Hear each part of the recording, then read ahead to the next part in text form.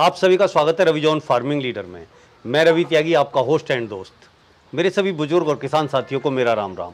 तो किसान साथियों, आज हम बात करेंगे वाइट लेग हॉर्न मुर्गी के बारे में। जो एक हमारी बहुत पुरानी प्रजाति है, लेकिन हमने उसे कहीं ना कहीं खोया है और उस पर हमने काम नहीं किया और गौर नहीं किया। अगर हम इस पर गौर करते हैं तो हमारे किसान भाई बहुत ही अच्छा मुनाफा उठा सकते हैं और अच्छी इनकम कर सकते हैं। तो चलिए देखते हैं। भुला दे डर। भुला दे डर। कुछ अलग कर। कुछ अलग कर। किसान साथियों हमारे चैनल को सब्सक्राइब करें और घंटी के बटन को ज़रूर दबाएँ। तो सर एक बार आप जो सामने से मेरे भाई लोग देख रहे हैं उन्हें अपना एक छोटा सा परिचय दें और ये बताएँ कि आज हम अपने दर्शकों को क्या दिखाने वाले हैं और क्या समझाने वाले हैं? आ, नमस्कार किसान भाइयों कैसे हैं आप सब? और आपका स्वागत करता हूँ। सबसे पहले त्यागी जी बहुत बड़ी इन्फॉर्मेशन आपको देते रहते हैं और बधाई के पत्र है। तो सर मैं बताना चाहूँगा आज हम बात करेंगे व्हाइट लेग और मुर्गी के बारे में। आज से जो 20-25 साल पहले हम बात करते हैं जब जो कमर्शियल स्केल पर जो सफ़ेद अंडे का उत्पादन केज में नहीं किया जाता था कैसे फार्मर भाई जो है छोटे स्तर पर 200-300 मुर्गी रख के जो है व्हाइट अंडे का उत्पादन करते थे सफ़ेद अंडे का उत्पादन करते थे और वो ब्रीड का नाम था व्हाइट लेगहोर। उस ब्रीड को हम दोबारा लेकर आए हैं उन सब किसान भाइयों के लिए जो छोटे स्तर पर सफ़ेद अंडे का काम करना चाहते हैं। तो मैं जैसा देख रहा हूँ कि मैंने वाइट बॉयलर और बहुत सारी मुर्गियाँ देखी हैं जो अब डेवलप हुई हैं। बिल्कुल सुस्त एकदम ठंडी जहाँ पड़ी हैं पड़ी हैं खा रही हैं खा रही हैं लेकिन ये जो मुर्गियाँ हैं ये जो हमारे बच्चे हैं सब ये बिल्कुल एकदम फुर्तीले हैं। ये नहीं है कि एकदम उड़ के ऊपर बैठ गए कहीं भी जा रहे हैं और एकदम स्मार्ट हल्के फुल्के बहुत ही अच्छे। तो इसका ये क्या कारण है? देखिए सर मैं आपको बताना चाहूँगा बड़ी एक बाय नेचर ही सर ये बात है। मान लो कोई भी जीव है, आप मान लेते हैं, चाहे वो इंसान ही क्यों नहीं है या कोई भी जानवर है, पक्षी है, हम उसे पिंजरे में कैद कर देंगे। तो उसके अंदर जो उसकी, अगर बात करते हैं इम्यूनिटी पावर है, उसके अंदर बात करते हैं, जो उसकी एक्टिविटी है, वो कहीं ना कहीं हम उसके अंदर जो उसकी उड़ने की क्षमता है, चाहे वो इंसान का बच्चा भी क्यों ना है तो हम उसको दबा देते हैं। हमने इस बर्ड को स्टार्टिंग से ही जो है, एक किस्म से डीप लीटर का फ्री रेंज टाइप का एटमोसफेयर दिया है, खुली जगह दिया ताकि ये बढ़िया तरीके से उछल कूद करे। इससे क्या फ़ायदा होता है सर? मुर्गी में कोई बीमारी नहीं आती। जी। सबसे बड़ी बात जो है अगर मुर्गी को आप साफ़ सुथरे तरीके से रखेंगे बढ़िया उसको दाना पानी देंगे साफ़ सुथरे ड्रिंकर फीडर रखेंगे और मुर्गी को ऐसा खुला माहौल देंगे तो मुर्गी में आपको इस तरह की कोई समस्या नहीं आएगी कि वो बीमार हो जाए। तो इसका सिर्फ़ एक कारण है कि हमने इस व्हाइट लेग होन ब्रीड को कुछ तो वैसे भी फुर्तीली है और बीमारियों से लड़ने की क्षमता भी अच्छी है। हमने इसे एक अच्छा खुला माहौल दिया इस वजह से इतना ज़बरदस्त एक्टिव है ये बर्ड अब जैसे कि देखा गया है कि अभी हमारे यहाँ प्रचलन में बहुत सारी तरह की ब्रीड है। जी। किसी में कुछ बेनिफिट है किसी में कुछ बेनिफिट है। जी। कोई अंडे ज़्यादा देने वाली है तो कोई अंडे के अंदर जो है प्रोटीन कंटेंट ज़्यादा है। हाँ जी। तो ये अंडे देने में कैसी है? अंडे दूसरा हाँ जी। कि इसके अंदर जो अंडे के अंदर प्रोटीन कंटेंट है वो किस टाइप के हैं? हाँ देखिए सर मैं बात करता हूँ कि egg is the richest resource of protein in the world बिल्कुल। अंडे में सबसे ज़्यादा प्रोटीन होता है और सबसे सस्ता प्रोटीन है। सबसे बात करते हैं अगर हम अफोर्डेबिलिटी की बात करते हैं क्योंकि गरीब आदमी को चार रुपए या पाँच रुपए का अंडा खाने को मिल जाए तो उससे उसको प्रोटीन मिल जाता है। तो इससे सस्ता इससे बेहतरीन प्रोटीन का ज़रिया नहीं है। दूसरी बात आपने कही अंडा कितना देती है? तो पहले उस पॉइंट पे आते हैं। अंडा देने की बात करते हैं अगर आप इसे बहुत बढ़िया देख रेख के साथ रखते हैं आप इसे अगर मान लेते हैं हम जैसे फ्री रेंज के अलावा हम इसे कंप्लीट फ़ीड पर रखते हैं। और अच्छी जानकारी के साथ पालते हैं तो साल में लगभग 290 से 300 अंडा ये मुर्गी देने की क्षमता रखती है। बिल्कुल। उसके बाद बात आती है आप कह रहे हैं प्रोटीन की। देखिए सर एक बर्ड जो केज में अंडा दे रहा है पिंजरे में बंद अंडा दे रहा है जो प्रोडक्टिविटी है एक बर्ड हंसता खेलता हुआ फ़ीड खाता हुआ नेचुरली जो बाय नेचर जो कुदरत ने उसे बनाया है अंडा दे रहा है। तो दोनों के प्रोटीन कंटेंट में या कहीं ना कहीं हम बात करते हैं कि जो स्ट्रेस फ्री है आपको मिलेगा तो उसमें बहुत ज़्यादा फ़र्क मिलेगा आपको।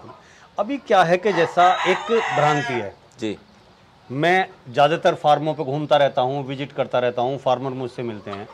तो जो अब टाइम आया है गर्मी का टाइम आया है जैसे तो इसमें अंडे की जो है खपत थोड़ी कम हो जाती है। लोग दिमाग में ले आते हैं अरे गर्मी है गर्म है।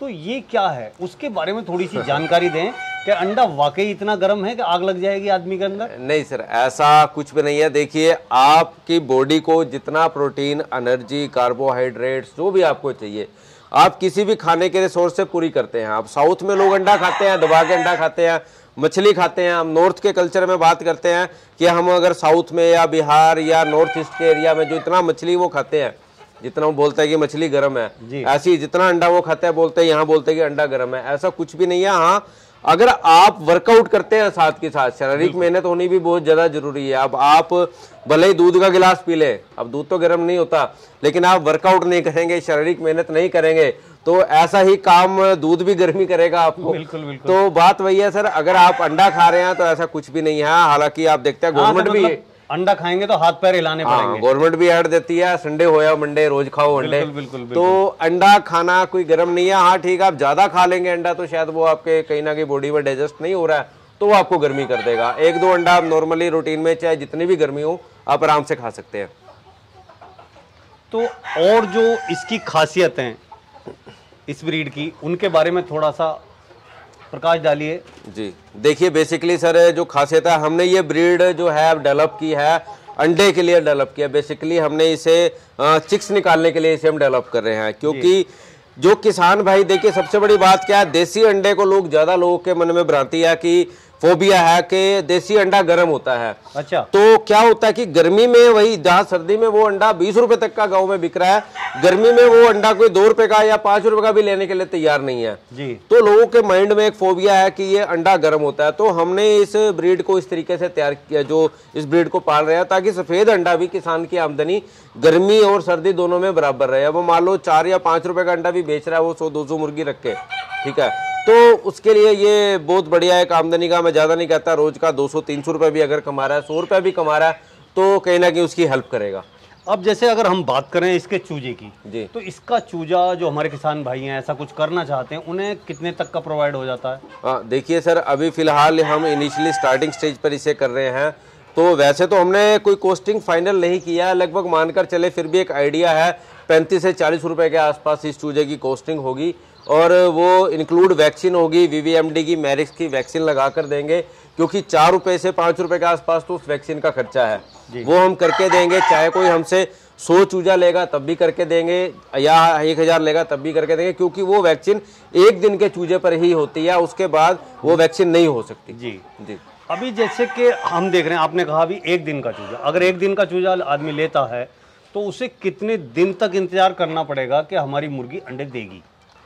देखिए ये भी आपने बहुत अच्छा सवाल किया है कि अगर एक दिन का चूजा कोई लेता है तो लगभग मैं आपको बताना चाहूँगा इसका जो सर्कल है 120 से 125वें दिन पे ये मुर्गी जो है अंडा दिखाना शुरू कर देती है। मतलब कि इक्का दुक्का अंडा ना 125वें दिन में शुरू हो जाता है। लेकिन बात करते हैं पीक प्रोडक्शन की जो परफॉर्मेंस करती है मुर्गी तो उसके लिए सर कम से कम भी मुर्गी को जो है 135 से 140 दिन का समय चाहिए तब ये मुर्गी अपने पीक पर आ जाती है। 140वें दिन में मुर्गी जो है बिल्कुल मशीन गन की तरह दबा दबा अंडा देना शुरू कर देती है। आप मानकर चलें कि लगभग 80 परसेंट के आसपास मुर्गी की प्रोडक्शन आ जाती है। मतलब 100 मुर्गी है तो 80 अंडा दिन का आना बिल्कुल तय है।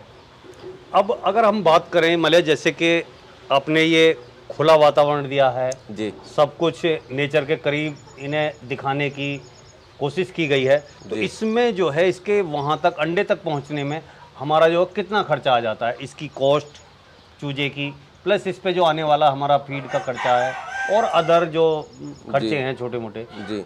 देखिए सर इसे दो तरीके से हम रख सकते हैं। एक तो हम वैसे तो जो बेहतर तरीका है आप अगर दो सौ से करें या दो हज़ार से करें आप बाज़ार की फ़ीड पर रखें तो मच बेटर है। हाँ आप सौ पचास रुपया बचा सकते हैं अगर आप घर का वेस्टेज वगैरह इन सब चीज़ों को मुर्गी को देते हैं मुर्गी को आदत डालनी पड़ती है वो खाने की ठीक है? तो 20 परसेंट तक हम शायद फ़ीड में कटौती कर सकते हैं। आ, लेकिन मैं फिर भी यही कहूँगा किसान भाइयों कि आप कमर्शियली बाज़ार का फ़ीड ही दें किसी अच्छी कंपनी का फ़ीड दें। हाँ एड ऑन आप जो दे रहे हैं एडिशनली देखिए मुर्गी है मुर्गी को अगर 120 ग्राम दाना खा के पेट भरा है तो 120 ग्राम ही खाएगी। जी। 130 ग्राम नहीं खाएगी। तो average costing feed medicine chicks और आपका जो आपका लेबर का खर्चा है पानी का है जो भी सब कुछ आप मिलाकर लगभग तीन सौ रुपये से साढ़े तीन सौ रुपये की मुर्गी तैयार हो जाती है बाज़ार की फ़ीड पर और लगभग तीन सौ रुपये दो सौ अस्सी रुपये के आसपास तैयार हो जाती है। अगर आप इसे घरेलू ट्रीटमेंट देते हैं तो। तो आपने सर ये इतनी अच्छी जानकारी दी जी। पोल्ट्री के बारे में हमारे किसान भाइयों को। जी। उसके लिए आपका बहुत बहुत धन्यवाद। आपका भी बहुत बहुत धन्यवाद सर और आप बहुत अच्छा प्रयास कर रहे हैं किसान भाइयों के लिए। और सभी किसान भाइयों को मैं कहना चाहूँगा कि सर के चैनल के साथ ज़्यादा से ज़्यादा किसान भाई जुड़े। जो ये इन्फॉर्मेशन देते हैं इसे शेयर ज़रूर किया कीजिए क्योंकि आपके द्वारा किया गया शेयर शायद किसी और किसान भाई के काम आ जाए। धन्यवाद। धन्यवाद। साथियों ये वीडियो आपने देखी अगर इस वीडियो में दी हुई जानकारी आपको अच्छी लगी हो और मेरी कोशिश अच्छी लगी हो तो वीडियो को लाइक करें, शेयर करें, चैनल को सब्सक्राइब करें और घंटी के बटन को ज़रूर दबाएँ। ये वीडियो देखने के लिए आप सभी का बहुत बहुत धन्यवाद। मैं Ravi Tyagi, Ravi John, farming leader से।